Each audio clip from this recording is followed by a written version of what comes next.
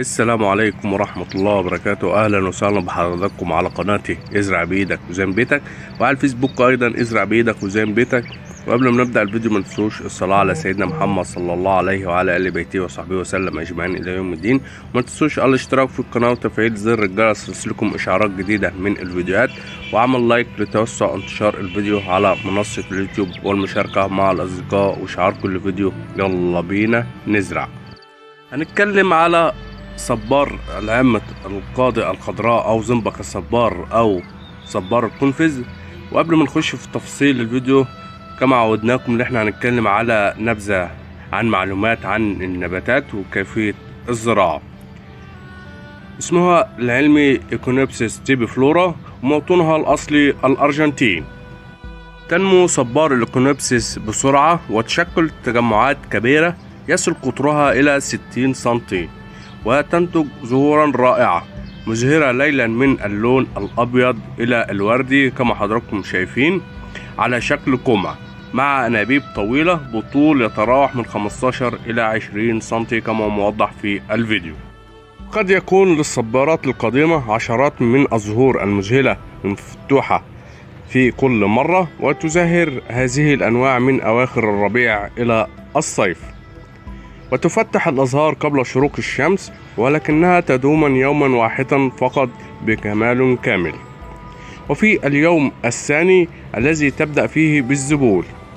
قد تم عبور هذه النباتات على نطاق واسع مع أنواع أخرى من أوبونوبسيس ويبدو أن عدة الأصناف الصبارة لا تنتهي.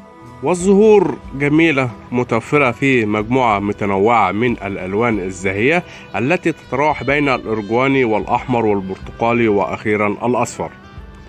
ويعتبر الصبار من الخيارات الشائعة للزراعة في الأسس أو الأواني أو في الحدائق من أجمل الزينة. وصبار القنفذ مقاوم للجفاف وما شاء الله نبات جميل اللي إحنا نقدر نقتنيه عندنا لظهوره الرائعة. صبار العمة الخضراء هو نبات يتحمل الجفاف ولا يتطلب سقيا متكررا اسقي الماء جيدا عند تكون التربة جافة تماما. عندما يتم وضع الماء في وعاء انتظر حتى يتدفق الماء من القاع ثم أزيل الماء الزائد من الدرج لتجنب تراكم المياه وتجنب تعفن النبتة. لماذا لم يزهر زنبق الصبار؟ أولا قد لا يكون الوقت قد حان لتزهير النباتات ويمكن أن يتراوح الوقت من الإزهار إلى التفتح من بين سنتين إلى عشرين سنة أو أكثر. وقد يحتاج النباتات إلى مزيد من أشعة الشمس أو درجة الحرارة أو الأسمدة. قم بزيادة التعرض لأشعة الشمس والأسمدة بشكل مناسب. واستكمل الأسمدة بالفوسفور والبوتاسيوم أو قم بشراء سماد خاص لتعزيز ازدهار صبار القنفذ لماذا يتحول صبار القنفذ إلى اللون الأصفر؟ يتحول صبار القنفذ إلى اللون الأصفر بسبب الإفراط في الري وعدم كفاية ضوء الشمس أو الآفات ولا يتطلب صبار القنفذ الكثير من الماء ويؤدي الماء الزايد إلى نقص الأكسجين وتعفن الجذور بشكل عام ولا تحتاج إلى المياه في كثير من الأحيان. قم بريها فقط عندما تكون التربة جافة تماما. وتأكد من تصريف المياه في الأسس ويمكن زيادة ضوء الشمس لها. ولكن تجنب التعرض المباشر لأشعة الشمس المشتعلة في الصيف لمنع حروق الشمس.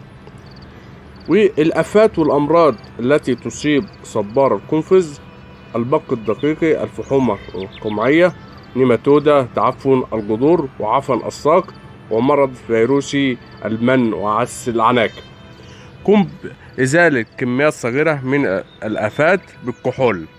أما بالنسبة للإصابات الكبيرة رش المبيدات الحشرية مثل مبيد لمبادة أو ميليسيوم أو استشارة مهندسين زراعيين باختلاف أنواع المبيدات من كل دولة والأخرى. ما شاء الله نبات جميل وهنتكلم على كيفية الإكسار. تابعوني لنهاية. هنتكلم على عملية الإكسار لصبار القنفذ. هو بيتكاثر عن طريق البذور. لما الوردة تتلقح زي ما حضراتكم شايفين دي بيتم التلقيح عن طريق النحل أو الحشرات ماشي؟ وبتنتج معانا بعد كده بذور. بناخد البذور دي بنزرعها في تربة بوتمس ونزرعها في شهر اتنين وتلاتة ولحد الصيف. كده عرفنا أول نقطة اللي إحنا بنزرع عن طريق البذور. أما الطريقة التانية عن طريق الخلفات. زي ما حضراتكم شايفين دي الخلفات بتاع النبتة معانا. بنشيل الخلفات كده بحذر اهي زي ما حضراتكم شايفين عشان خاطر الاشواك ونزرع أنا زارع مجموعة زي ما حضراتكم شايفين اهي. تمام؟ كده بأسهل الأشياء وأسهل الطرق لكيفية زراعة صبار عمة القاطي الخضراء. تمام؟